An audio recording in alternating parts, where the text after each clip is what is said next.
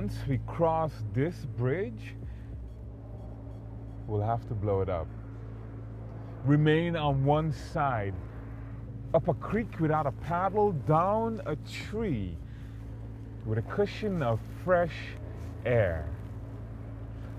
On this side, there will be no sides, just awareness.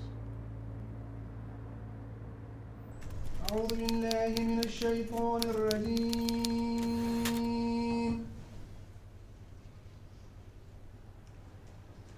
الله لا إله إلا هو الحي القيوم. إلا بما شاء وسع كرسيه السماوات والأرض. Peace. Um, I would go by Galtung, who made already in the 1960s a distinction between negative peace and positive peace. And negative peace is the absence of manifest violence. So, you know, the lack of rioting and killing and maiming and the spectacle of violence that we're so used to. Positive peace, that's the real peace, uh, and that is the absence of structural violence. And Galtung defines structural violence as the violence in the normality of things, the violence in structures, the violence in the way we organize our society. So, sort of more the, the, the, the diffuse, indirect ways of violence that, for instance, you know, poor healthcare, um, poverty, underdevelopment. People die because they have lack of access to healthcare. So they actually die. They die younger because they have a bad food diet. If there's an absence of that kind of violence, that is, that is when we can speak of peace.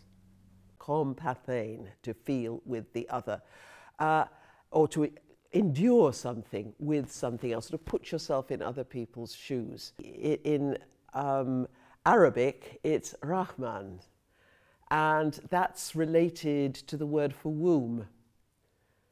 So uh, it brings in mother love.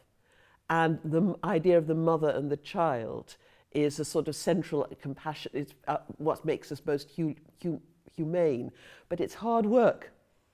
Uh, a mother has to get up every night to her crying child, however exhausted she is. She has to put her own needs to one side and be responsible and know what's happening to that child for every second of the day.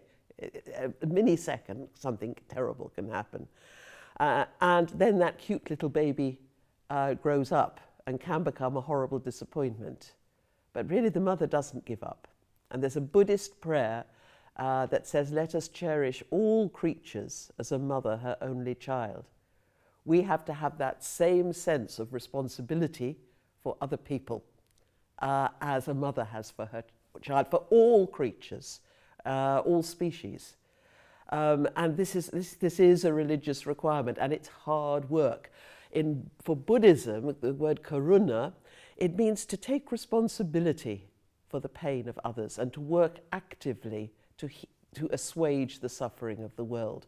So it's not just a question of saying, oh, I really empathize with your uh, feeling today.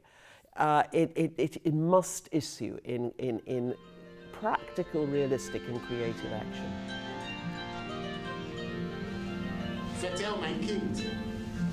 Wat brengt jou naar deze wereld in deze tijd? Waarom heb jij ons gekozen als jouw ouders? En ik zeg, mama, wie verwerkt is uit vlees is vlees. Wie verwerkt is uit geest is geest. Tenzij een mens opnieuw geboren is, kan hij zijn onzichtbare leven niet zien. Om werkelijk te weten wat je levensbestemming is,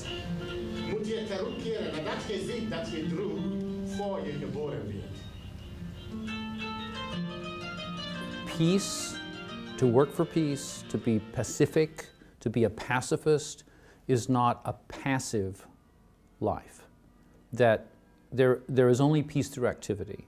There's only peace through a kind of industrious energy. That you build peace, you construct peace, you live peace. It's not about doing nothing.